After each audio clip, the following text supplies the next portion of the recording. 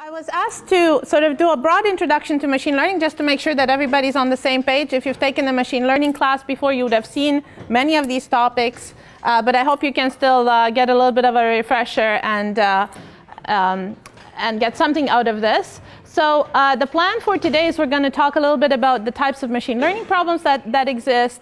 We're going to talk about linear approximation, objective functions, and different ways of optimizing these. We're going to discuss bias variance, overfitting and underfitting, and uh, regularization. And one of the threads is going to be that we're going to talk about probabilistic interpretations of these methods, because the probabilistic interpretations really allow us to ground uh, the algorithms and to understand what they do. They don't necessarily always give us the best algorithms, but they give us sort of a good um, understanding. So uh, machine learning is very broad, as, as you know. There's sort of three different types of machine learning problems. Uh, supervised learning and unsupervised learning is what you hear about most of the time. Reinforcement learning, as Yoshua mentioned, is, is on the rise, and there's going to be a day dedicated to it uh, towards the end of the week. Um, supervised learning is perhaps uh, the standard thing that you're used to. You have examples with some inputs and some desired output. You get a set of these examples. Um, and what you're trying to do is learn a function that maps inputs into output of this type. And the goal is to, to obtain such a function in order to minimize loss or to optimize some kind of objective. And we're going to be talking about what kinds of objectives might be good to optimize. Um, and ideally, when you do the optimization, you would like it to work well on all the possible instances, on the distribution of instances that are out there, Unfortunately, you don't have access to this distribution. You only have access to a finite sample of data. And so a lot of the problems that arise and that we need to handle uh, are uh, sort of driven by the fact that only a finite sample of data is available, and we need to uh, sort of make do with that. So this is a typical example of supervised learning. You have some images you'd like to learn um, a system that can do face detection and face recognition based on uh, examples of images where there might be faces, there might be multiple faces, and so on. Reinforcement learning is a little bit of a different problem where uh, the signal that you get is not as strong. So basically, you get some training experience by interacting with an environment. Maybe you have a stock market agent that's on the market, it observes values of different stocks, and it can make trades and it can make investments. So it can do things, it has some actions that are available to it. And there's a reward signal that comes back. For example, the agent might be making money or losing money. So it might be getting positive rewards and negative rewards. Um, however, there's never a direct association between the action that's just been done and the reward that's, uh, that's given, and the reward may well be delayed. And that's sort of what uh, makes this problem quite interesting. Uh, this is a cartoon of an early uh, reinforcement learning signal uh, system that uh, was done by Jerry Tesauro in the early 90s. Is, think of this as an early precursor to AlphaGo. Um, this is a system that learned by interacting with itself, by playing lots of games, and became the best player in the world at, at TD. So I'm not going to say any more about that because we're going to have a lot on reinforcement learning uh, on Friday. Unsupervised learning is uh, perhaps the trickiest problem to formulate. You have training experience in the form of unlabeled data, just stuff out there, and your goal is to find some kind of structure. So clustering algorithms, dimensionality reduction algorithms, algorithms that try to get at latent variables uh, in the data uh, all kind of fall into this category. And we often don't have one single correct answer, uh, which makes this problem slightly more difficult. So again, there's going to be discussion during the week of different algorithms that do unsupervised learning. This is just an example that I thought I'd show you of sort of interesting supervised learning going on. This is a, a cancer data set genes are measured, and then you do cluster analysis in order to determine if there are certain uh, clusters that are correlated together. Uh, and the interesting thing here is that even though you do this unsupervised, what comes out has correlation with clinical outcomes that was not known before. Um, so that's about the types of machine learning. Now we're going to uh, start introducing a little bit of notation and discussing uh, sort of the broad topics. This is an example of a data set. Uh, this is the Wisconsin breast cancer data set, so it's images of pathology uh, that have been sort of segmented by, by an expert. Um, and uh, the first question that comes out when you're faced with a data set like this is what kind of input representation do we want to have? You could be working with the image and the pixels in the image. You could do some image feature extraction, or you could do something uh, more complicated, like talk to the expert and actually get some features that the expert knows are important. Okay, so in this case, we have some features that have been extracted that are measurements on uh, the different parts of the image. And uh, we have some desired outputs that we're trying to predict. In this case, there's two outputs. One is the outcome, does the cancer recur or not? And then the other one is, if the cancer recurs, what's the time until that happens? So in general, the output, the desired output that we're trying to predict, could be discrete or it could be continuous, or in fact could be more complicated than that. Could be something like a tree or a graph and so on. So just in terms of terminology, when, you, when you're faced with a table of data like this, we often call these columns input variables or features or attributes. We call these columns here that we're trying to predict output variables or targets. And each of these rows is an example or an instance. And um, in this case, we're looking at two specific problems which are kind of uh, easier to understand and to work with. One is a problem of binary classification, the recur, no recur uh, label. And then the other one is regression. Okay, so we're just trying to predict a, a real number there. And I'm always going to use x's to denote the inputs and y's to denote the outputs. And I think this will be uh, consistent in the follow-up uh, talk as well. And very often we think of this here as a matrix of data, big X, okay, that has number instances by number of columns. Um, and then the outputs, you can think of them as a vector uh, Y. And so the bold denotes uh, matrices and vectors. So now we get to the supervised learning problem. What we want is to learn a mapping from x to y. We're going to call such a mapping a hypothesis. And we would like this to be a good predictor of the output. Okay, and this could be called classification or regression or structured prediction in more complicated cases. Um, and we've already kind of decided on what the input set would, uh, space would be. We've decided on the output space. Um, and now uh, we're choosing a class of hypotheses or representations for these functions h. And so this is a sort of cartoon example. If I have some points, the simplest thing that we can think of is to put a line through these points. Okay?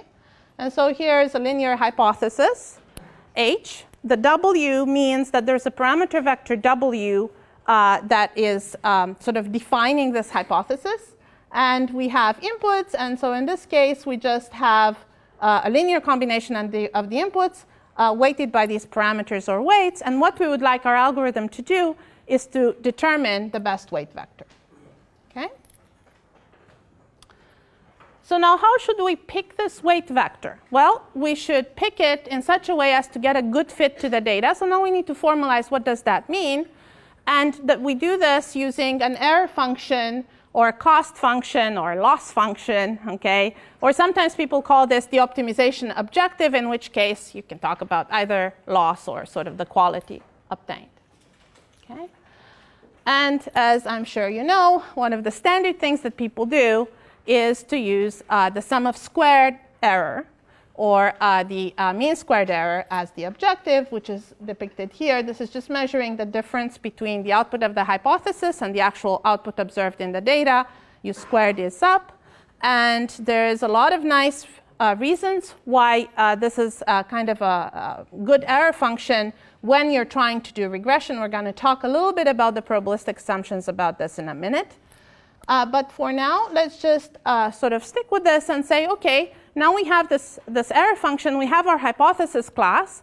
What we need to do is to search within the hypothesis class for the best hypothesis according to this error function. Okay?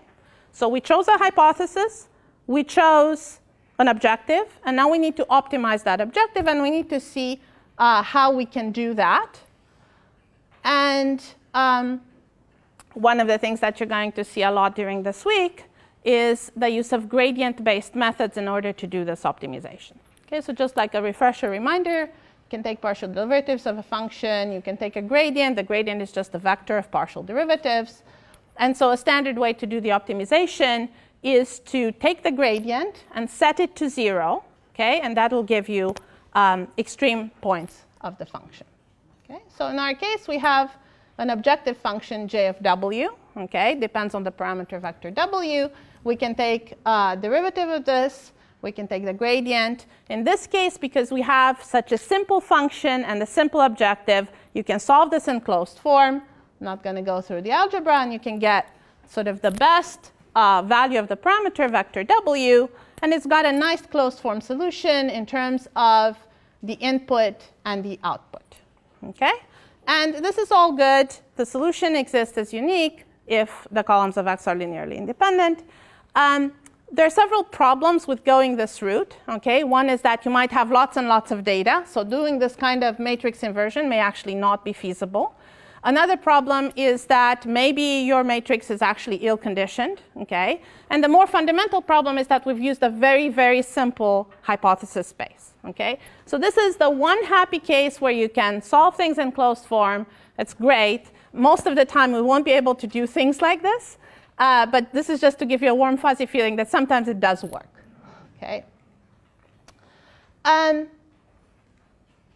okay, so in general, uh, this is a very sort of simple kind of hypothesis space. So what do we do to make this more interesting? Well, we use a transformation of the input using nonlinear features. Okay.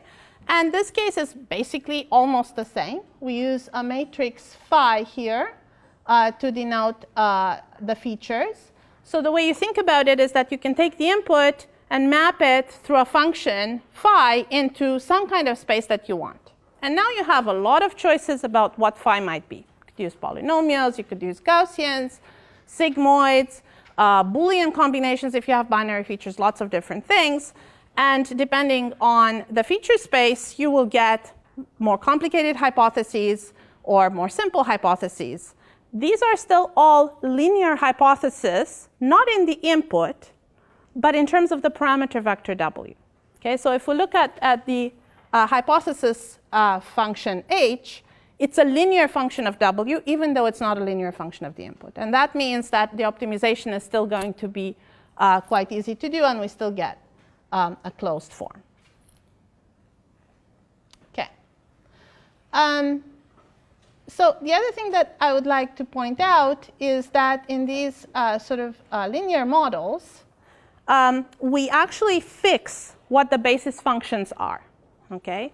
So you decide ahead of time you want to take the inputs and take polynomials up to degree two. Okay.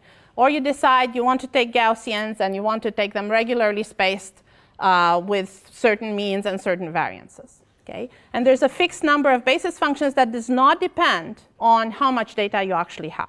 Okay? So that's the flavor of what we call parametric methods. Parametric methods have a fixed size parameter vector. The size of that parameter vector is decided ahead of time, and the basis functions are fixed. Only the parameters are moving. Okay? Uh, there are other kinds of methods. Non-parametric methods allow the representation to grow with the size of the data. So nearest neighbor methods, for example, or certain forms of locally weighted regression uh, are non-parametric methods. I'm not really going to be talking about that uh, in this talk. Uh, the deep net methods that you're going to hear a lot about in this week are essentially parametric methods, but with very, very large sets of parameters. Okay, are there any questions or comments so far? We're good. Okay. So now let's look at uh, the problem that's created by the fact that we have sort of a fixed size hypothesis that may somehow reflect or not what we have in the data. Okay? So we have a set of data. Okay, the blue points there are data points. And now we're doing some fits through these data points. Okay, so here we fit an order 2 polynomial. You can see that it looks pretty good. Okay, goes pretty close to the points. Okay, and we could do an order 3 fit. Okay, or an order 4 fit, or an order 5, and 6, and so on. Okay. Which of these is the best fit to the data?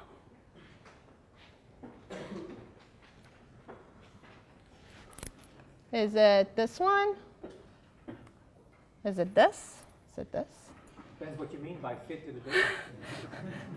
so that's, that's part of the problem. Depends what we mean by fit to the data. Okay? So what can we mean? Well, one thing we could mean is what's the error on the training set that we're using. Okay? And we can do something really good on the training set. We can do this, okay? Uh, we can actually find a high enough degree polynomial that will exactly fit the training set, okay? And the error on the training set is zero, okay? Is this a good fit to the data? Well, sort of our intuition says no, okay? Why?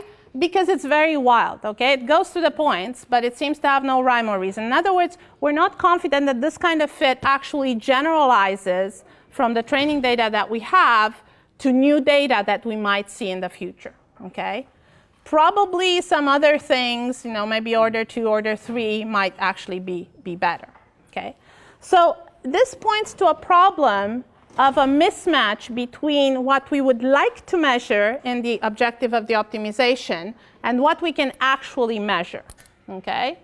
What we would like to do is to measure the true error on the whole distribution of the data, but we don't have access to that. We only have access to a finite sample. As a result, we can only measure things on that finite sample of data. Okay?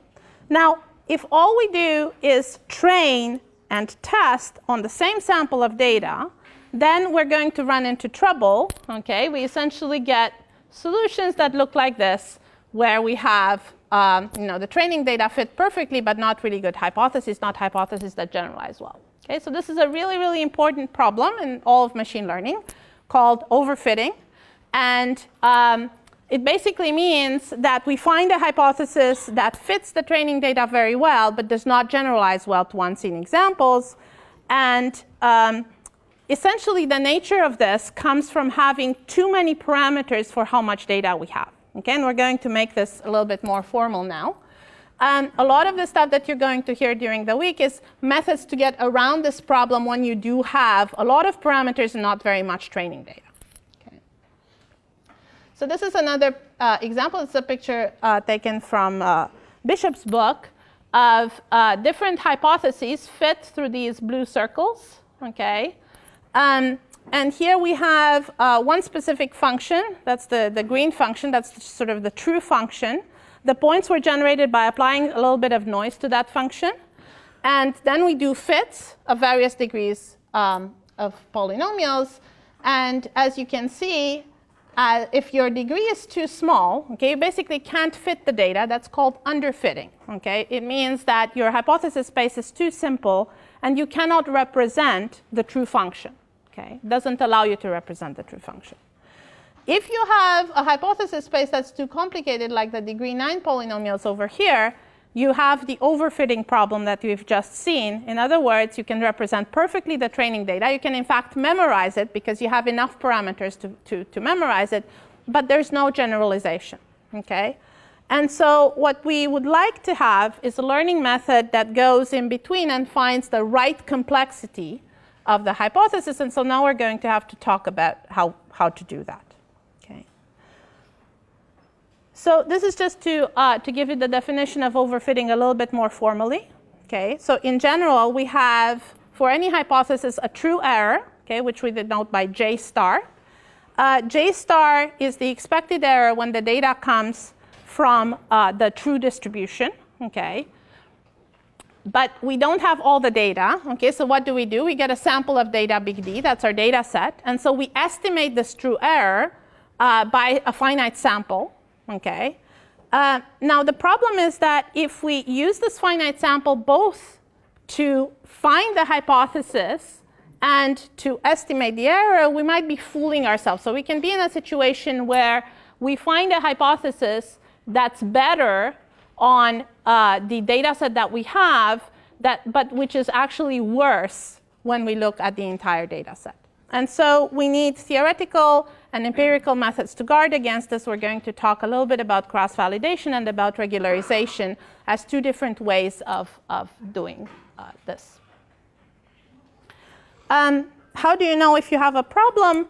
Well, this is a typical plot that you might see when you have a hypothesis space and you have a com complexity parameter over here. Okay, so here we're going from simple hypothesis on that side to more complicated hypothesis going this way.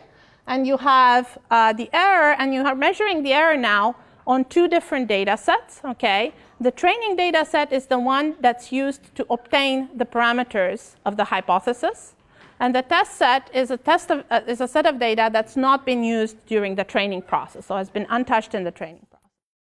So this is a fairly typical graph where you see the training error going down as the complexity of the hypothesis increases. And then you see this U-shaped curve in the test error where the test error starts high and then goes down to some good level and then goes up again. Okay? So on that end of the spectrum, okay, when you have very simple hypotheses, you're essentially underfitting. Your hypotheses are uh, too simple, they cannot capture the complexity in the data, so both the training and the test error are high. When you have overfitting, your training error is actually low, but the test error is high because you're not generalizing very well. And what we would like is a model selection procedure or search procedure that brings us in the happy middle zone. Okay? What this is also telling you is that it is really, really important to have a separate set of data on which you're doing evaluations, okay? Because otherwise, the training set is not a reliable um, indicator of how well you're doing. So what we will do is we will always take the data that we have and separate it out, okay? You'll have a training set. You typically have a validation set, which you use in order to train hyperparameters, Okay, so decide what the hypothesis space might be, decide parameters of the optimization procedure, and so on. You're going to see uh, a lot more uh, on this in uh, Hugo's talk. And then you have a test set that's not touched in this process at all, that you use just at the end in order to establish how good your approximator actually is, and in order to compare different algorithms. And sometimes uh, these sets are specified for you ahead of time. Sometimes you have to uh, go through a procedure where you take your whole data set and you chop it up into these pieces and you make sure that the pieces are balanced and so on um, in order to uh, obtain accurate estimates of, of uh, how good your hypothesis is. So this is a procedure called cross-validation where we take the data and we split it up, um, making sure these tests are, are disjoint. And in cross-validation, we typically repeat this procedure multiple times. Okay? Now, of course, the more times you repeat this procedure, the more expensive the computation is. But I'm not going to be worried about this, okay? Well, always encourage you to uh, do this a lot, okay, and repeat it in order to get good, accurate estimate of, of uh, the generalization capability. Okay.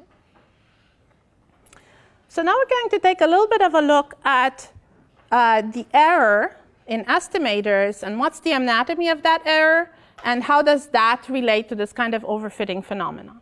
Okay?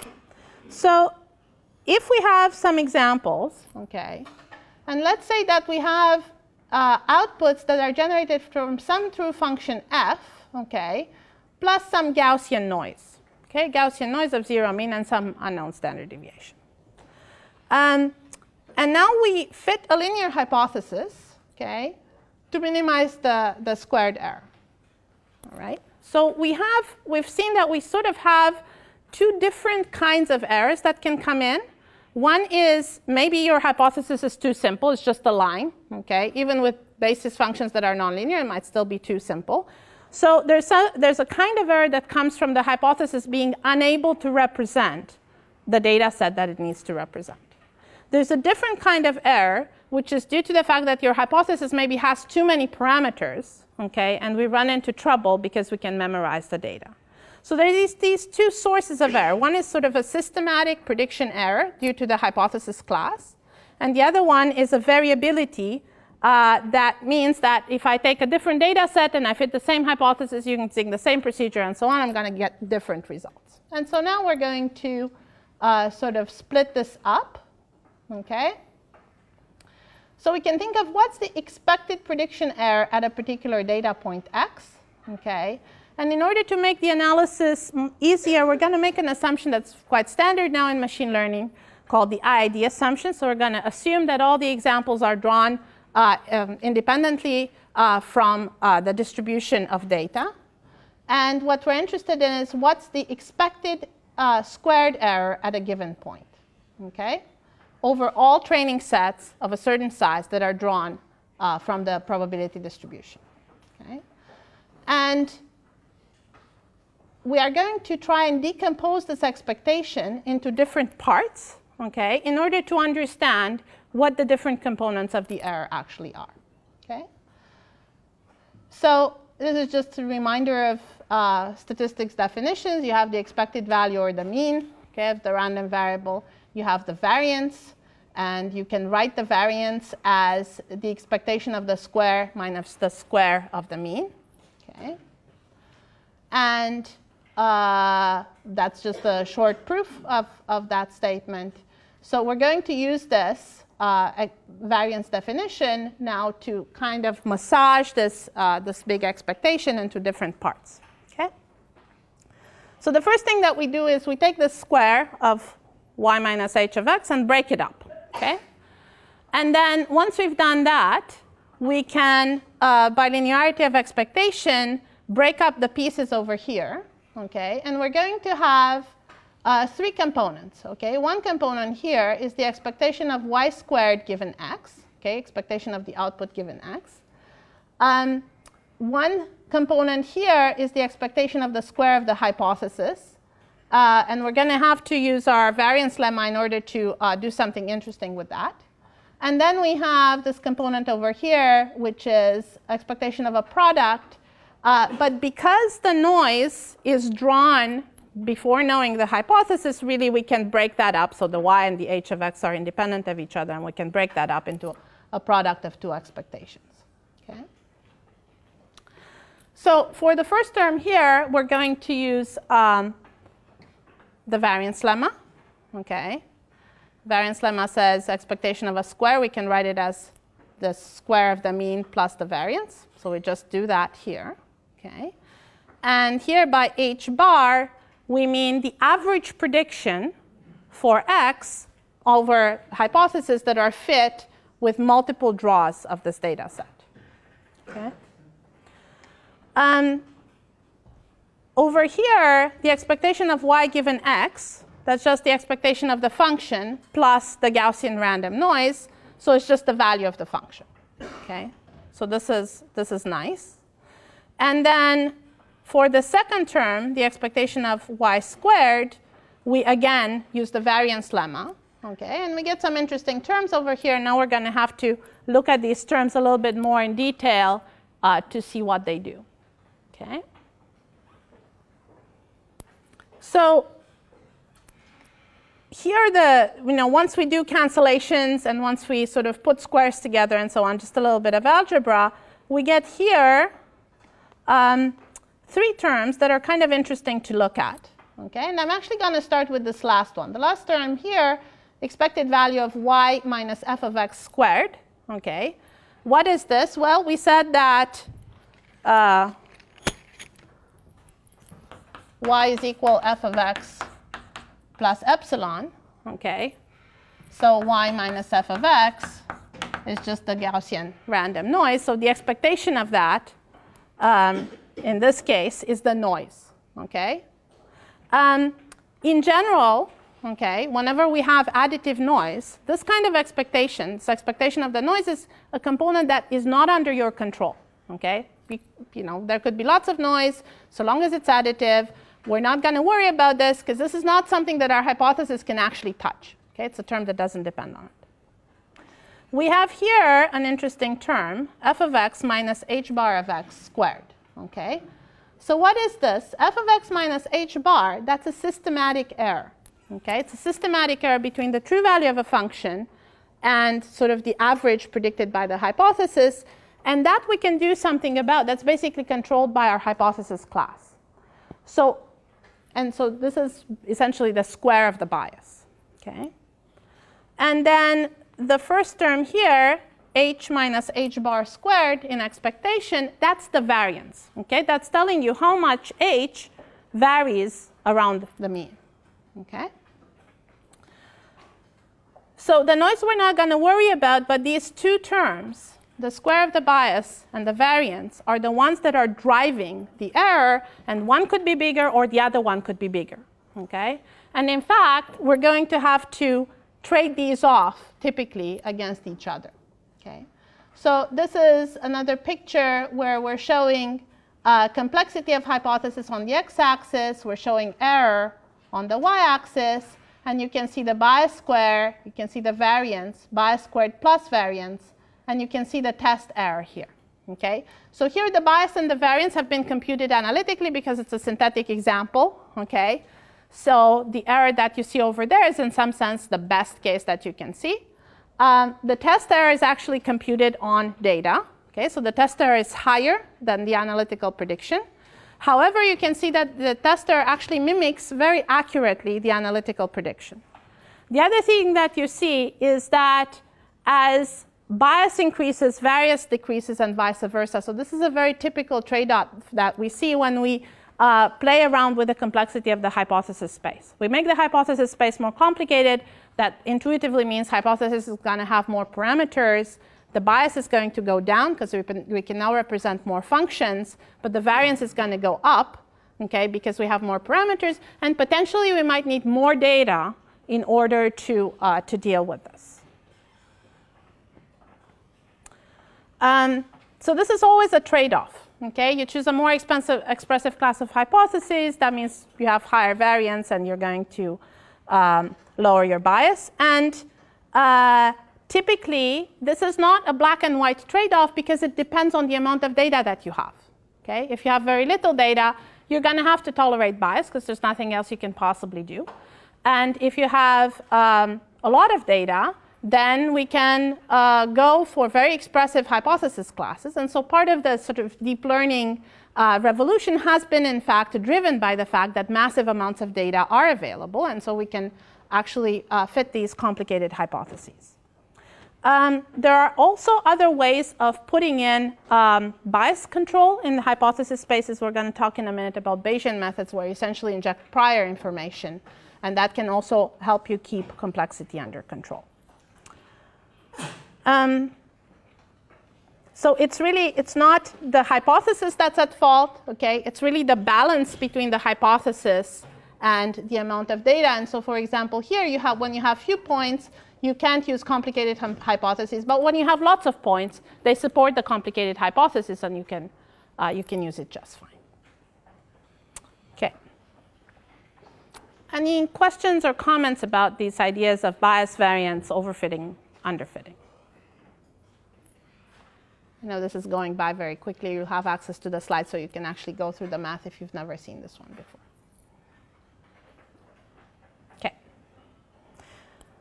So now let's go back and talk a little bit more about uh, the mean squared error and why the mean squared error might be uh, a good idea, okay, as an optimization objective, and what's its interpretation? So one reason why people like the mean squared error is that it's got a good intuitive feeling. If you have real numbers, if you have errors, the big errors are amplified, the small errors are squished down by using the square. Another reason why people like it is that you can take derivatives very easily, and so gradient-based methods work very well. Uh, there are actually some interesting geometric interpretations of this.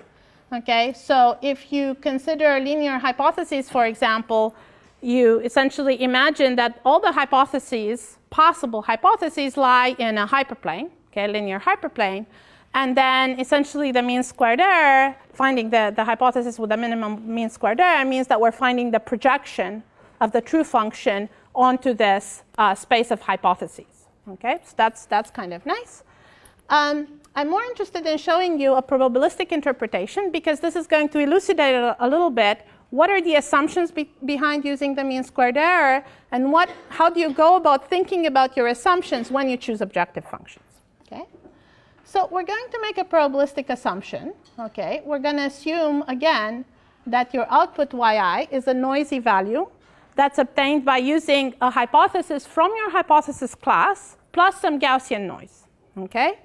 So for each example, HW of xi is the output of the hypothesis, epsilon i is the Gaussian noise that we're injecting onto this, and that gives you uh, the yi. And now we're trying to figure out how to choose the best parameter vector. Okay? So now we have a probabilistic system where data is drawn from some probability distribution, noise is drawn from some distribution. We're going to want to find a W that gives us the best fit. Okay?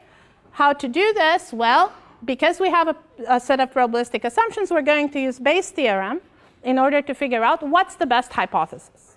Okay, so what does Bayes' theorem say? It says the probability of a hypothesis given the data is equal to probability of the data given the hypothesis times the probability of the hypothesis. And then in the denominator here is the uh, probability of the data. We don't really care about that because that doesn't depend on our hypothesis. If we just want to solve an optimization problem, it's not going to influence us one way or another. So we're going to kind of ignore the denominator and focus on the things that are here on top. Okay? So what do we have on top? We have P of D given H. Okay, that's the likelihood of the data. And we have P of H. That's a prior. Okay, P of H is a prior on the probability um, of different hypotheses.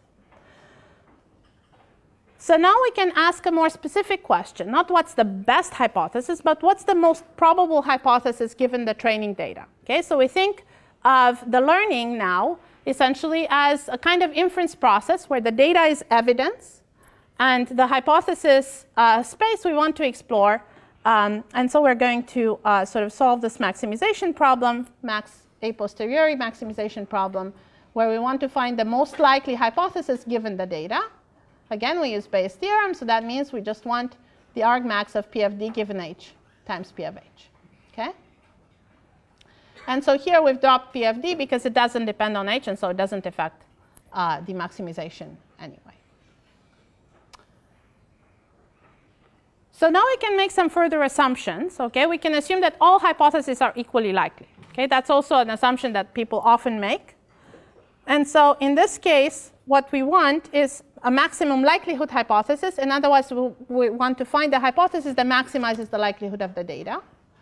And uh, to do this efficiently, we're again going to make the standard assumption that the data is drawn IID from some uh, distribution.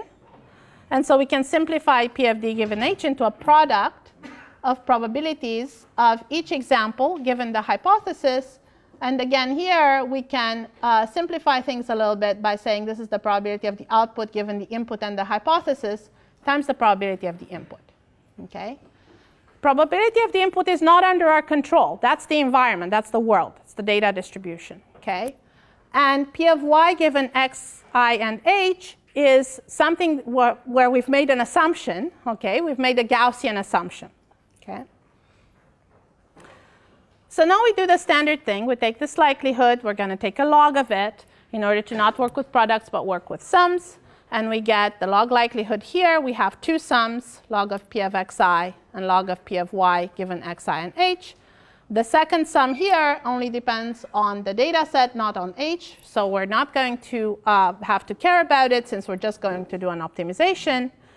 And under the assumption that we have Gaussian noise, now the first part, okay, the term over here, is actually quite nice. Okay, uh, so the li likelihood has the sort of Gaussian um, term here, and we can take the log and um, maximizing this right side here is the same as minimizing the, the mean squared error. Okay? So this is a little bit magical, okay? We've made an assumption, we've kind of picked the right assumption because we knew it ahead of time. And we went through this procedure, and what we have obtained is that essentially the mean squared error or the sum squared error is a surrogate for maximum likelihood criterion. Okay? Maximum likelihood in general says we want to find the most likely hypothesis given the data under the assumption that all hypotheses are equally likely to begin with. Okay? Um, the other thing that's a little bit interesting about this formulation is that it spells out exactly what your assumptions have been. Okay?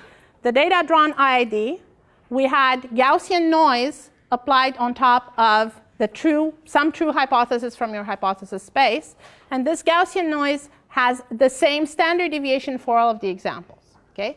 So under these assumptions, the mean squared error is the right uh, error function in the sense that it is giving you, it's going to give you the same uh, hypothesis maximum likelihood.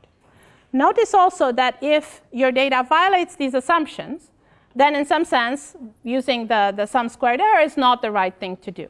Okay? In particular, if you have, uh, let's say, standard deviations that depend on the input, okay, so that some examples uh, are affected by more noise than others, then using the squared error is the wrong thing to do. And what you should do instead, if you do a little bit of math you figure it out quite easily, is to weight the examples differently, okay? And uh, perhaps throw out some examples that are affected by too much noise in order to, uh, to do your fits. Okay? So uh, now I'm going to show you a little picture here, okay, to kind of represent this process, okay?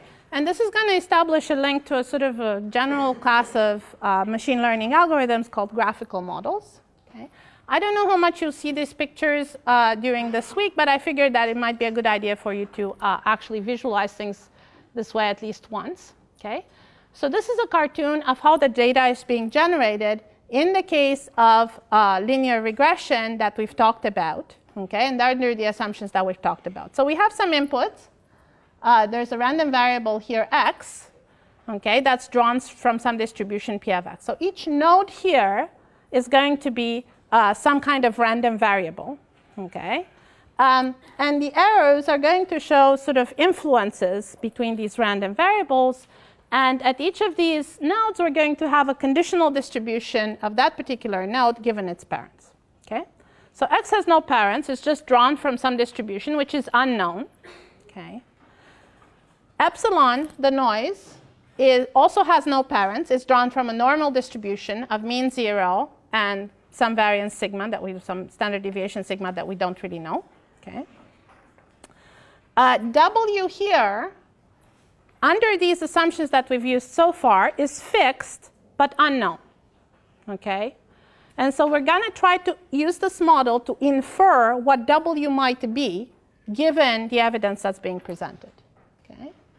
And the output, y, is in fact a deterministic node that does a operation in this case where it takes uh, the output of the hypothesis that depends on w and x, and that's the noise that comes from epsilon. Okay. so in this case, some of the variables are observed, some of the variables are unobserved. Okay. We can see x and we can see y but we don't actually see epsilon, nor do we see w. Okay? And we actually don't really know the parameter of the probability distribution that governs epsilon either. So this is going to be a very typical case where you have data, you have some observed variables. You kind of know there are some other variables that are important, but you don't see them. Those are called hidden or latent variables. And a lot of the time, we're going to try to build a model that infers these variables their probability distributions and their values from data. Okay? Uh, the other thing that's interesting about this model is that it points out places where we could make more interesting assumptions. Okay, so for example, here we've assumed that W is fixed but unknown, okay, because we're under maximum likelihood. But now let's assume that W is actually a random variable. Okay, so if W is a random variable, then it might be drawn from some probability distribution, okay? Then we're moving towards a Bayesian setting where we actually have priors over the parameters, and we can use the data to infer a posterior probability distribution over the parameters, okay? Um, and of course, uh, here we've uh, made a specific assumption about how the output interacts with the input, okay? This kind of cartoon uh, is typical of uh, discriminative models where you have the input sort of determining the output in some kind of, uh, of sort of close to deterministic fashion. But in general, we could have variables interacting in all kinds of ways. Okay, so we could have many variables, we could have arrows going forward and backward and so on. And so you'd get a lot more generality by uh, drawing models in that way. Are there any questions or comments about this picture, about the sort of this graphical model's probabilistic view? Everybody's very quiet. That's kind of suspicious. Okay.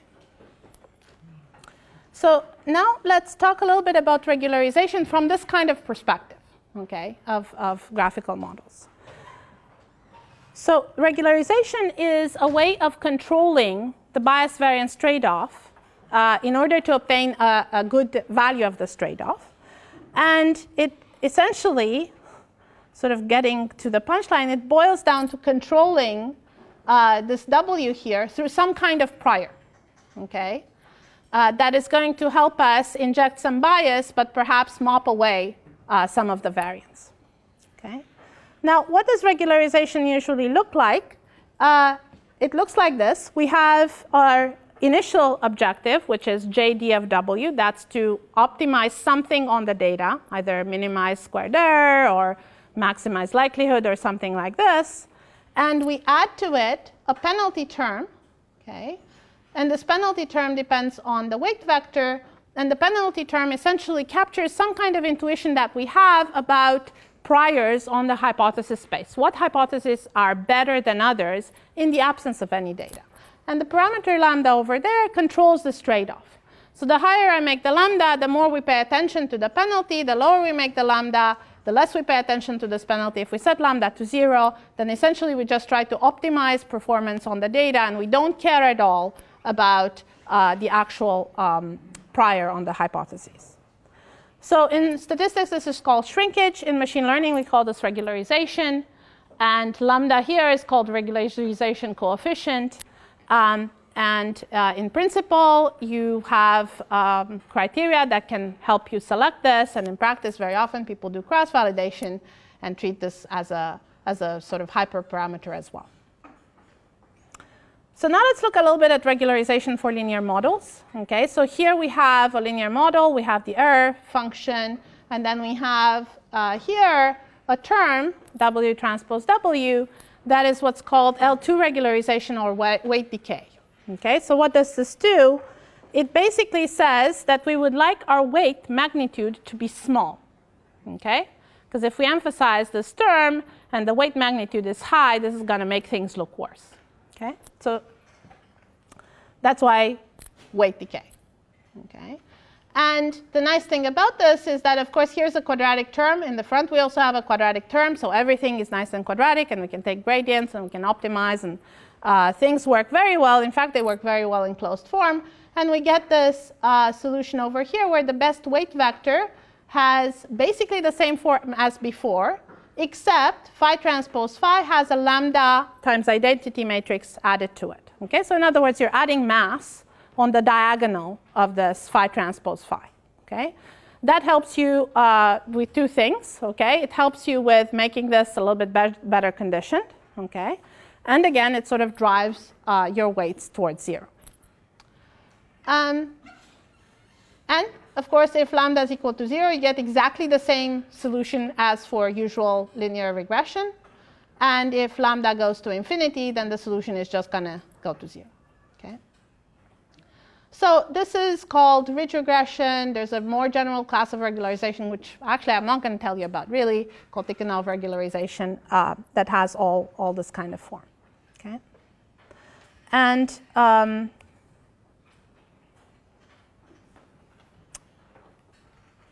sort of uh, a, an alternative view of this, okay, um, which is derived in the slides, but I'm really not going to go through the derivation, is the following. We could think of this criterion and, as saying we have some objective function here, which is the squared error. Okay, we're trying to minimize that. And at the same time, we want to keep the magnitude of the weights bounded. Okay? And this parameter eta is sort of the inverse of lambda. Okay? So what does this mean? Okay, how do we visualize this? We basically do the following. In general, we would like the weights to be close to zero. Okay, so you have this red circle over here around the origin that's saying, I want the weights to be small. Okay, and we have a sort of uh, point over here that's the best fit based on the data. Okay, now what is the best solution according to this criterion? Well, it's where these circles intersect. Okay, and that's going to be on the sort of line that unites uh, these two centers. Or, you know, if you're in many dimensions, it's going to be a hyperline. So now what happens with the regularization? If I, if I uh, make lambda very small, okay, eta, which is 1 over lambda, is very big, and the circle that's around the origin is going to blow up, okay, and all solutions are acceptable, essentially. Okay? Otherwise, when we shrink the circle, okay, we really want the weights to be close to zero. That's the emphasis. And so the weights are going to migrate away from the point that's best for the data towards the point that's best for this, this prior. Okay, so that's L2 regularization. So this is actually quite nice, okay? If you find a good value for the regularization parameter, this helps you avoid overfitting.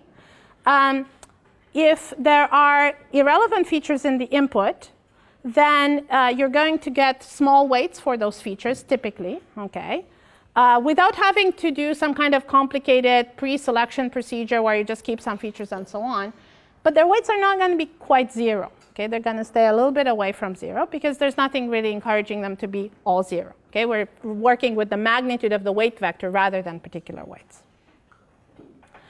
So there's a way to, uh, to actually get these weights to be equal to zero. Okay, that's called L1 regularization. Okay, and I'll actually show you the picture first.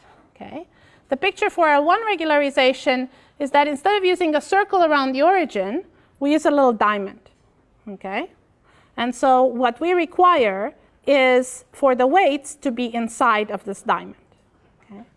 And so now uh, you have the circle here. It's going to touch the diamond uh, somewhere along its edges. Okay?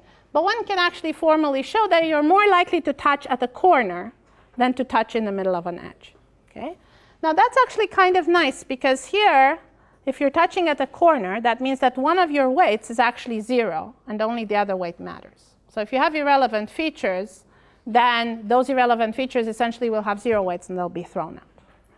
So this is a large class of methods called lasso, very popular in statistics community, works very well with linear approximators, doesn't work so well with nonlinear approximators because this kind of constraint is actually a little bit ugly, okay?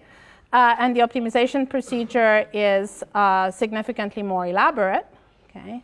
The type of constraint that we have here is that the sum of the absolute values of the weights has to be bounded by a parameter eta, and eta again controls the size of this diamond. Um, so, you know, why is this more complicated? Well, you can easily see that if I take this absolute value and expand it in all possible ways, we get a blow up of these constraints. You still have a sort of, in principle, a nice optimization procedure, but with lots and lots of constraints. And so, um, where is this uh, useful? Well, that depends. There are some things that, that go in between, where people use sort of L1 style regularization in some parts of the space and then smoothly go into an L2. These are called Huberized losses. Um, in, some, in some cases, those work um, better than either L1 or L2. The advantage of L2 is that it eliminates completely uh, features that are irrelevant. And so in some applications, that's actually useful. So for example, if you work in medical applications, uh, doctors really want to know what are the three different symptoms that are uh, determining the diagnosis or the five different genes that are determining the diagnosis, and they don't want everything else to be around. In other applications, this is not so important. And this is just to show you uh, sort of visually the effect. So this is L1 regularization, this is L2 regularization as we vary the strength of the regularization parameter. Uh, of course, in the end, everything goes to zero, all the weights go to zero. But as you can see, an L1 regularization, certain weights just go to zero and stay zero, okay? And you can consider that the more important variables are the ones that are lasting longer, okay? Whereas in L2, everything kind of goes to zero roughly at the same time, and so it's harder to determine which of these things actually has to be thrown out. Okay. So now what's the Bayesian view of this? The Bayesian view is that in both of these cases, we really what we're dealing with is a prior distribution over hypotheses. Okay? And when the data comes in, we compute a posterior distribution. And the uh, difference between L2 and L1 is what kind of distribution do we assume as the prior. Okay? So in the L2 case, we have a circular Gaussian, that's the prior. And so when we compute the posterior, we also obtain a Gaussian distribution. Okay? And so for that reason, it's actually very easy to work with L2 regularization in many cases, and it leads to all kinds of interesting algorithms, Gaussian processes, and so on. In the L1 case, what we use is a double exponential prior. Okay, that corresponds to this kind of diamond shape. This sort of uh, goes out much, much quicker than a Gaussian. Um, and uh, so as a result, you've sort of put in a little bit different kind of prior knowledge, and so you're going to get slightly different hypotheses when you do your search. This is something that is under your control, And the choice is really guided by two criteria.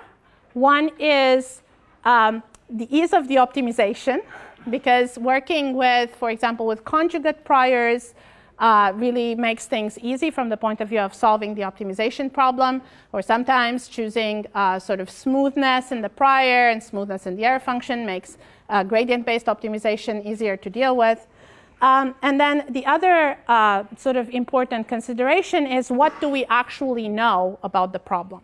And so here it's sort of it's easy problems, it's regression problems, but often when we deal with structured data, the prior actually reflects something that we know about the hypothesis space. Okay, for example, if we're trying to infer gene networks, maybe we know that certain genes cannot be connected, and so we can build that into the prior. So this is just to give you a, a cartoon picture of this Bayesian view of regularization. Okay, and uh, what we're going to do here is start with a prior over the weight space. Okay, this is the picture here with the red circle. This is a Gaussian prior over the weight space, and uh, it's sort of centered at zero. Okay, so in the absence of any data, we can use this to draw weight vectors. Okay, and each weight vector is going to be a hypothesis. Okay, and so here these red lines represent different hypotheses that we've drawn from this prior. Okay, and you can see they're all over the place. All we say is we'd like the weights to be roughly small, okay, but there's no rhyme or reason until you actually see some data. Okay. Now, it's a little bit hard to see, but over here on the right-hand side, in the second row, we have a data point. It's a little blue circle, okay? And so now what we do when we do the regularization essentially is we compute a posterior over the weight space, over the parameter space, and that posterior says we would like to fit the data. Okay? And so all the lines are encouraged to go through this point to fit the point. Okay? So compared to here where the lines were all over the place, here we have lines that are still all over the place, but they do fit the blue point that we've just gotten. Okay? Now, what does that mean from the point of view of the weights? Okay, what it means is that this Gaussian that used to be round, okay, is no longer round because we've taken the round prior when we've combined it with the likelihood of the data. Likelihood is here, okay, this sort of red line. Likelihood says all weights are good so long as they fit this point, okay? And so when we do that, we get a Gaussian that's more squished, okay? So on one side, we have to go through this, this data point that we have. On the other side, we still, still have a lot of freedom. So there's still a lot of variance, okay, in the weight vector, uh, but we've restricted this somewhat. Okay, so now a second point comes in. Okay, here's the second point.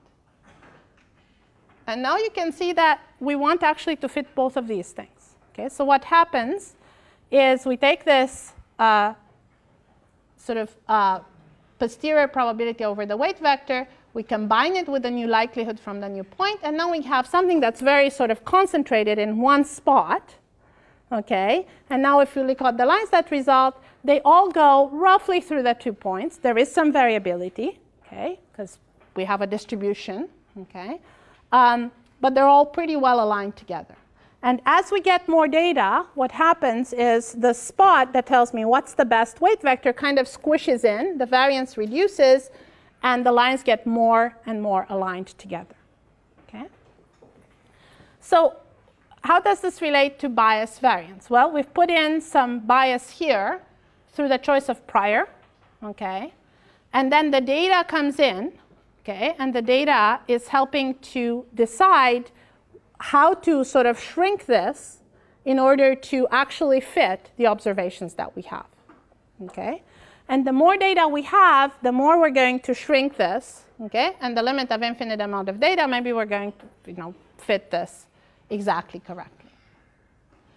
So the posterior is always skewed by the data.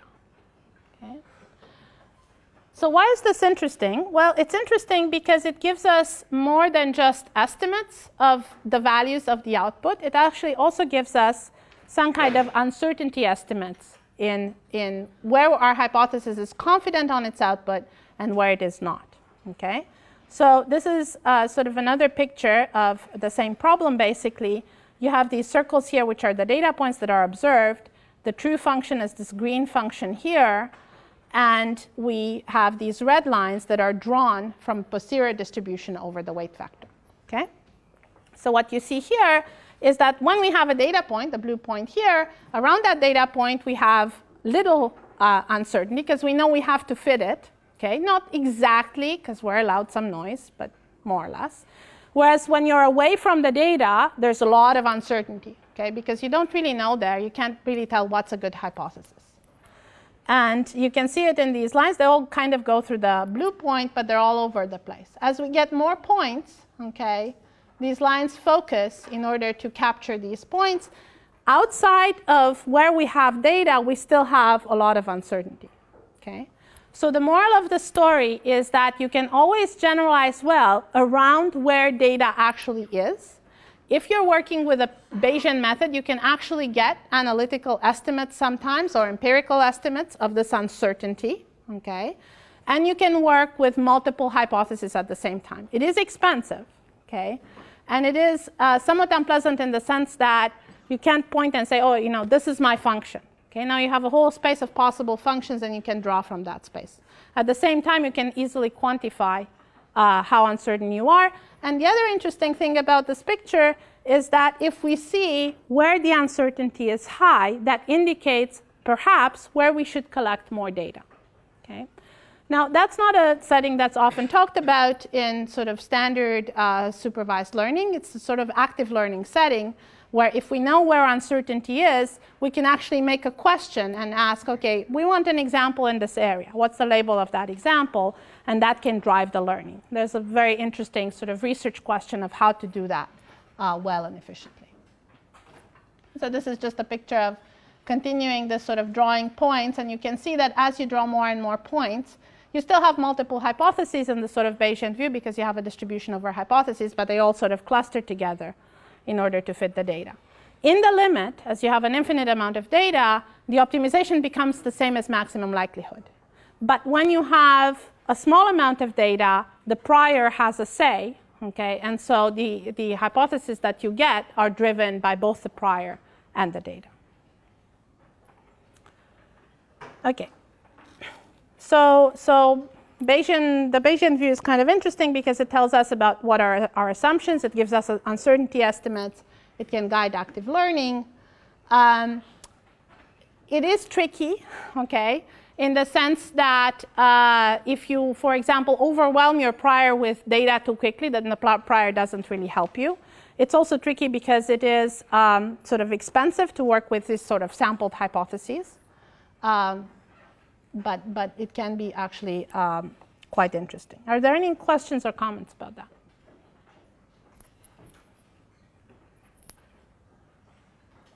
Okay. There'll be an exam at the end. so now the last thing I wanted to, uh, to mention to you uh, is logistic regression. Why? Well, because it's sort of the equivalent of linear regression for classification problems, and Hugo is going to tell you all about how to do this a lot better. But this is kind of the uh, usual statistical view of things. Uh, so here we have a hypothesis, okay? And the hypothesis is a logistic function of this linear combination of the inputs. So x is the input, W transpose x is the linear combination, and then we do this kind of and you get this sort of shape of your function that goes kind of like this. You'll see a lot more about this uh, later. It's also called sigmoid neuron in the neural net literature. Um, so why is this close to linear? Okay, we're going to interpret the output of this hypothesis as the probability of the class label being 1 given the input. Okay, and so if that's our interpretation, and if we look at the log odds ratio of the probability of the two classes, the binary classification case, y equal to 1 and y equal to 0, you get the weights times the inputs. Okay? So that's linear. Okay? That's the sense in which we have things that are linear.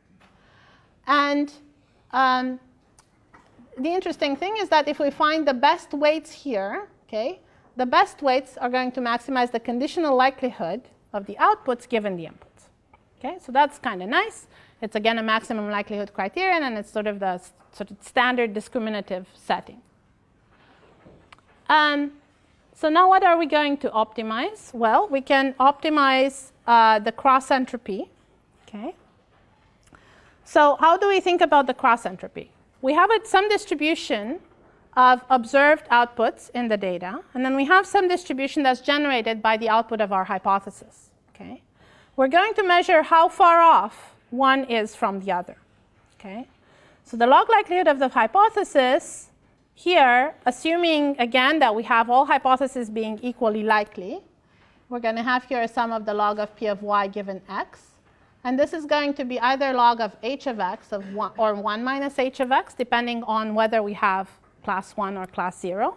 We can do a little trick to kind of put these together, okay, uh, by using this kind of multiplication of y times the log, and 1 minus y times the log of 1 minus h of x here. And so we obtain the, the cross entropy error function, and now we can optimize this to obtain the best um, parameter vector. Okay? So this is a plot of what cross entropy error surface looks like for a logistic function. And you can see that it's nice. Okay, it's convex. Um, unfortunately, we can't really solve it in closed form anymore. Okay, so in the case of linear regression, we obtained an actual formula of what the weights ought to be as a function of the inputs and the outputs. Here we can't quite do that, okay, but it is a nice convex optimization, okay. And so what we're going to do is to use our best weapon that we're going to use a lot this week called gradient descent. Okay? So just to remind you, gradient descent basically says if we have some kind of error function that we're trying to optimize, uh, we're going to start somewhere and follow the gradient okay, until we get to the bottom. Now, if you have something that's nice and convex like here, you can start anywhere and you're going to end up at the bottom under mild technical conditions. If you have a nonlinear optimization objective with lots of little wells, then when you do your optimization, you may end up in a local optimal uh, optimum, which is a, one of these local little wells. And so there's then all kinds of tricks to encourage you to end up in a good spot, and Hugo is going to tell you all about that. So I won't really discuss that in detail. One of the very standard ones, of course, is to just do this multiple times and just start from different initialization points, and that's going to lead you to different solutions. So what does the gradient descent algorithm look like? You have an objective j, okay? We're going to assume that we can compute the gradient of this objective easily. Okay, so the objective is smooth and the hypothesis is smooth, for example, then this is easily done. And we're going to produce a sequence of weight vectors um, such that the limit of this is some weight vector that's locally optimal. And what we're going to do instead of, so now instead of solving the set of equations that sets the gradient to zero, we're simply going to step in the direction of the gradient. Because this is an error function, we want to step down in the direction of the gradient, hence the minus sign over here. And we have a learning rate alpha that controls how much we step down. And these alpha i's could be different from iteration from, to iteration from step to step. And there's also smart ways of actually setting them. So now we can apply this to uh, the case of logistic regression. We can take the likelihood of the data, we can take the gradient, we can write the update uh, rule for the gradient, and we get a very nice update, okay, that basically says we started with some arbitrary weight vector, and then we step, okay, in such a way as to minimize the error on the inputs. Okay. Now, this kind of optimization is all good, but it requires you to pick these learning rates. And you can treat this as a hyperparameter and use cross-validation and pick the rates. Sometimes the theory says, of course, you should decay these rates. Then you have more things to, to deal with. Maybe you want to decay them in, according to some schedule. That schedule might have parameters and so on. Um, so there's another thing that you can do which is uh, to apply Newton's method. Okay, and so uh, how does this look like? Newton's method is basically uh, an interesting way of finding zeros of a function. In our case, we want to find zeros of the gradient. Okay, and uh, the idea is that if I have some function, okay, and I'm at some point here, we're going to approximate the function um, using a straight line. And then we're going to solve the equation for where this reaches 0, okay, and then move to that point. And so this is written out here assuming that you just have a univariate function. But if you have a multivariate function, you can do exactly the same sort of thing using uh, here a gradient instead of, um, of, of a derivative. And so now here, what we want is we want to find the zeros of the gradient. Okay, so on top, our g function here is the derivative. Okay, and on the bottom we have the second order derivative. Okay, so this is part of a class of methods called second order methods because they make use of second order derivative information if you have access to that. Okay, and then you step in this direction, and that's really the best you can possibly do. Okay. So notice that if I have an iteration like this, there's no learning rate and there's no step size. You just do this computation. You, the price to pay is that you do have to compute the second order derivative, and that may be expensive depending on variety of circumstances. Okay? If you have a quadratic error function, then you find the optimum in one step, okay, using this method. So this is the multivariate setting here with, where now instead of having a second order derivative, we have the multivariate equivalent, which is the Hessian matrix. So the Hessian matrix um, has the second order derivatives according to pairs of parameters. And so the iteration just moves in the direction of the gradient of the objective. And the learning rate is the inverse of the Hessian. Okay? You do have to estimate this Hessian. Okay? And so typically these methods, in order to be used, require more data than methods that are just based on um, step size. So this is called Newton-Raphson method, sometimes called Fisher scoring. Um, what's better? Well, that depends. Okay. Typically, this kind of second order method requires fewer uh, iterations in order to do the computation because you sort of take optimal steps. Um, at the same time, you need a batch of data, so it's not an online algorithm. Um, and also, there's this inversion of the Hessian, which, which is uh, expensive. Uh, there are actually tricks for avoiding this kind of explicit computation and inversion, um, which you may hear about later on. Uh, but you can actually uh, do this for logistic regression, and it results in an algorithm called iterative re recursive least squares. And uh, the Hessian has a nice form in this case, where you have the features and then this kind of diagonal matrix of h times 1 minus h.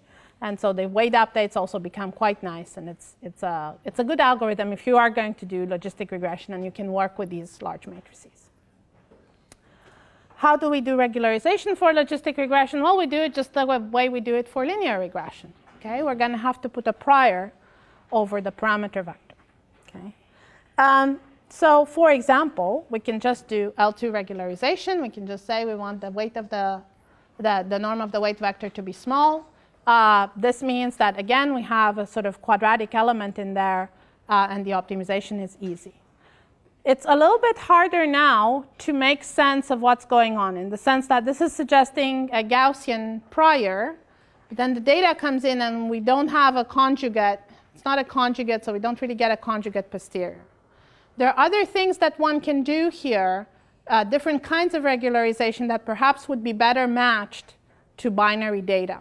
Okay, so for example, you can consider what is the error, what does the error look like for binary data? Well, typically the error is not a Gaussian type of error, uh, but it's actually flipping the label. And so perhaps working with Gaussians here is not ideal. However, from a practical point of view, this is very nice. Okay, and so that's one of the reasons why, why people use this method. now, what's the probabilistic view of logistic regression? So just like we thought about linear regression and we thought about this kind of noise model, we can treat logistic regression in the same way. Okay, so we can consider the output as being produced by a hypothesis plus uh, some noise. Okay. but this is actually kind of strange. Okay, again, because the output is binary, and so what does this kind of model really mean? Um, so instead, what we will do is we will consider a continuous variable, okay, yi hat, that's produced by the hypothesis plus some noise. And then we're going to consider the output being generated by thresholding this variable, okay, at zero. So we're going to generate a one if this variable is positive and a zero otherwise. And so in this case, we actually obtain a nice probabilistic model for logistic regression. We now have uh, the, the graphical model is a little bit more complicated. We have the inputs, we have epsilon. These are used to go into this sort of y hat variable, which is then used to generate y. Okay. so again, there's this sort of notion of, of a latent variable somewhere in there that we don't actually get to observe, but that controls the output that gets observed. Now, the other interesting thing about this kind of interpretation is that it directly shows you that logistic regression is not a generative model. In other words, if I just consider the inputs and the outputs, there's not a good way for, for me to generate what this y hat might have been. Okay? And so there are other models, other probabilistic models that are fully probabilistic that allow you to manipulate these latent variables in, in nicer ways. Okay, so we're going to recap now a little bit. Uh, we talked about machine learning algorithms. Hopefully, this was more of a refresher. If you've seen this now for the first time, I'm sure it's like completely whizzed by. Um, so, whenever you have a machine learning algorithm, you have to think of making a choice of, of a hypothesis, a choice of an error function, and a choice of an optimization procedure. Uh, very often, we're going to make gradient descent kind of optimization procedures just because they're convenient and they work sort of uh, in many, many cases. Um, in some cases, this optimization is easy and in closed form.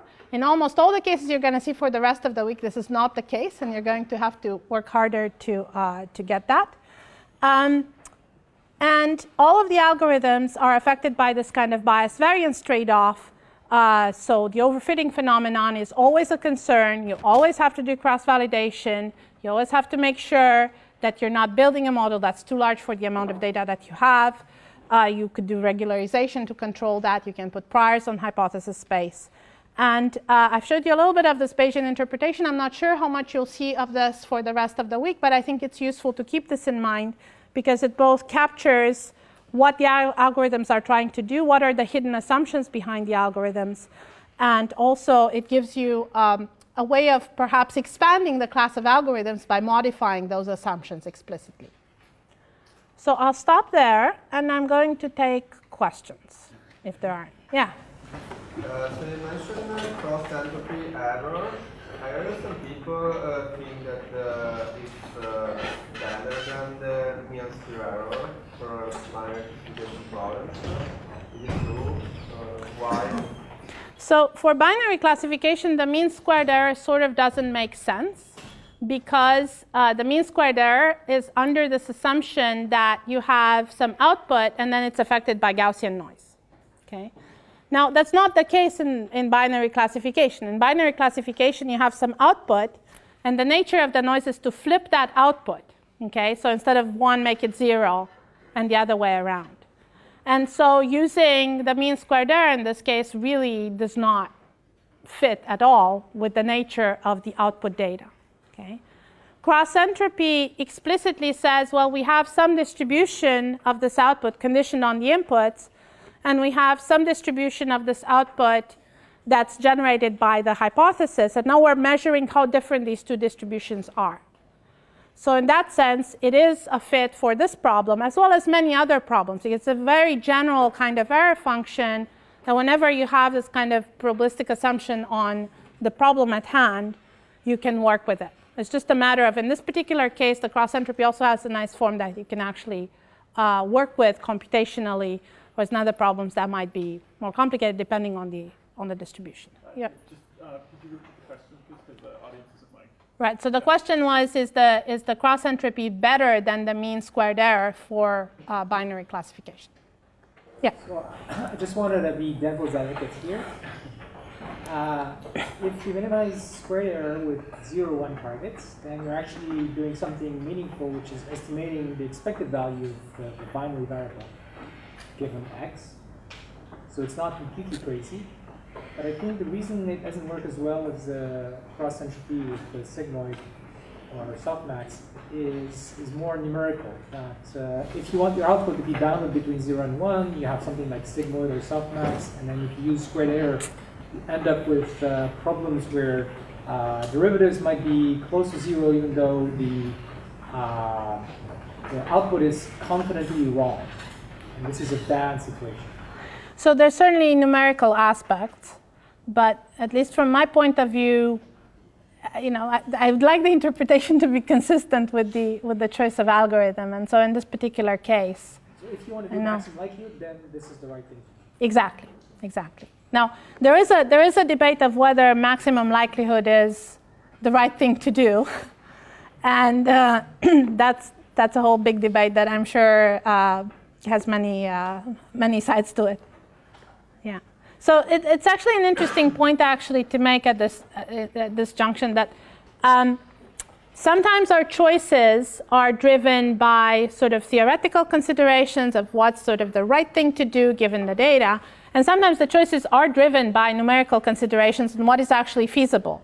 And so there may be methods that are very nice theoretically, but that uh, numerically are unstable or don't work well with certain classes of function approximators or certain classes of, of uh, these hypotheses. And so we're going to make a choice, even if it's not quite theoretically justified, but the one that actually works in practice. So that, that's a that's a trade-off as well. Yeah. When you say that logistic model, this so, so the generative models uh, means that you can actually use the model to generate data. Okay, so in other words, uh, I could use this, you know, can I use this model to actually generate you inputs and outputs? Okay, so the question is, is, is logistic regression a gen, why is logistic regression not a generative model? So in logistic regression, what I can do is if you give me an input, I can infer the output. Okay? With a probabilistic assumption on the weights, I could even infer a distribution of the output. What I cannot do is invert that and say, given the output, what does the input look like? Okay? Now, there's a large literature on generative models. Naive Bayes is the typical example, sort of simple classifier example of a generative model, where you can actually generate both inputs and outputs. Okay? When is that interesting to do? It's interesting to do when you actually want to generate data. Okay, for example, if you want to generate text or you want to generate images, then it's good to have a generative model. The other thing is that it uh, allows you sometimes a way to supplement your data, okay, under certain circumstances by, by generating more examples. Uh, so logistic regression is typically is a typical discriminator. Given the input, you can compute the output but you cannot invert that computation. Uh, if we make different assumptions here on the structure of this graph, so really the problem comes from this node over here, where we then apply a threshold. Okay, so once we add a random variable and we apply a threshold, the information about that random variable is completely gone. If instead we have some other probabilistic assumption here about how this output is, is generated, then we can actually perhaps invert that. Okay, and so naive Bayes has some different assumptions that it works under specifically its assumption is like this. You have an output here. And it generates inputs. Okay, and then we can sample this way or sample that way, conditioned on anything, okay, and end up getting data. Yep. Uh, when you were talking about the bias variance trade-off for the derivation, what was the expectation over? So the expectation is always over the true probability of the data. So P is the P is the true probability of the data, so the one that's generating the inputs.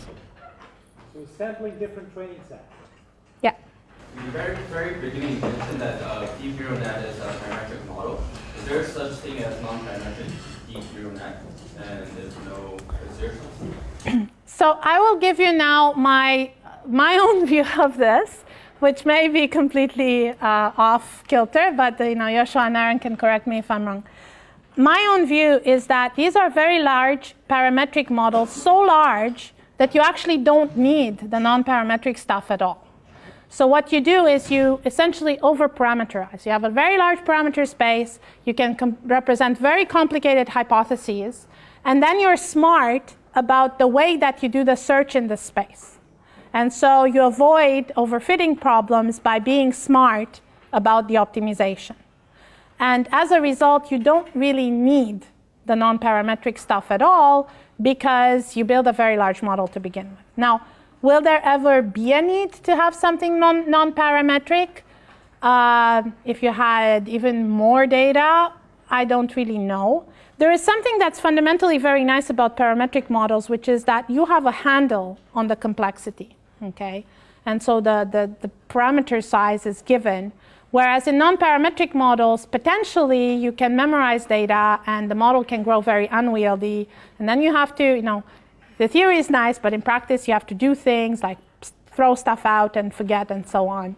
And so, uh, you know, at least in my view, parametric models are a little bit better.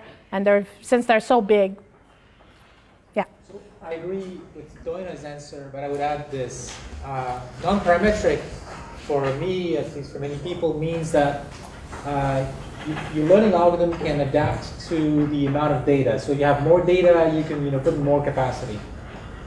Um, in, in fact, that's what we do with uh, neural nets and other things like mixture models. Even though, given the number of units or the number of mixture components, it's a parametric model, in practice, you will actually choose the, the, the size of the model depending on how much data you have. And so these models really are non-parametric. Not the usual non-parametric, but they are non-parametric. So is there any theory that's been that has looked into the sort of parametric, non-parametric interpretation of, of deep nets at all? Well, of course. I mean, all the universal approximation properties of neural nets is really about saying as the number of parameters grows, you can approximate any distribution. So you basically have all the same characteristics of standard non-parametric methods that you can approach the true data, the true function as the amount of uh, data and capacity grow to infinity at the right rate. So, so, there's no such thing as, so let's say you start with a very tiny neural net and with a large data set, and the neural net somehow grow in a non-parametric yes. fashion so that it there, stops at a so there have been historically a lot of methods that do that very explicitly. Back in the 90s, there was a whole literature on growing neural nets and adding units and noticing that units are unhappy and oscillating and cutting them up into pieces and so on. I think that is that the current methods that we use make that unnecessary. And so the, the, you know, the current methods are more elegant, the optimization is better, and so we don't need to do this kind of hacking of, you know, we add something, we remove something, and so on. So I have two questions about the regression. Uh, the way that you demonstrated regression, uh, sorry, I mean uh, the regularization. Uh, the way that you demonstrated regularization is just uh, to decrease the variance of the uh, hypothesis. So first question is, if we have enough data, do we need regularization or not? The second question is, why regularize the network when we can just decrease the size of the hypothesis, like the number of parameters or something? Okay, so so first question is uh, in the if we have a lot of data, do we need regularization? And in principle, in the limit of infinite data, you don't. Okay, because in the limit of infinite data, if you think of regularization as a sort of Bayesian prior, the prior is going to wash out, and you're going to do max likelihood on that that data. Okay. However, we never have an infinite amount of data. We always have a finite amount of data. Therefore, in practice, it is always a smart idea to use some form of regularization. Okay. Um, the second question, uh, can you repeat that? Sorry. If, if, the goal is just to decrease the variance, uh, right. Yeah, so, so why not just uh, drop the size rather than do regularization? And uh, the, way, the way I think about it is that you want to control the size of the hypothesis space, and regularization gives you a very nice uniform way of doing that. Okay? And it has one parameter that you control and that parameter essentially has a nice geometric interpretation as we've seen. And so you know it's all good. You kind of let the algorithm decide how many things it needs in there. You could you could control the number of units but then the overfitting phenomenon does not always come as a this direct sort of uh, connection with the number of parameters. There are other things that come into play as well Okay? So for example, if you have certain types of units in deep nets, things like sigmoids, you can uh, have saturation. Okay? Saturation essentially means that you can't move those units anywhere. Okay, you're memorizing whatever you had in the past. You can't adapt anymore to uh, future data. So that's a form of uh, sort of, let's call it overtraining, not quite overfitting, uh, that regularization can help you avoid, um, you know, because your weights shrink and then your parameters are more free to move. So there's other reasons for doing this kind of thing, uh, not just, uh, you know, and not just controlling for numbers of units specifically. So I would add that in the last few years, it's been pretty obvious that what works really well is to have huge neural nets uh, that are regularized one way or another, usually by injecting noise. And, and that just works much better than having you know tightly parameterized models for reasons that may be due to optimization. But we should stop here and thank Doina.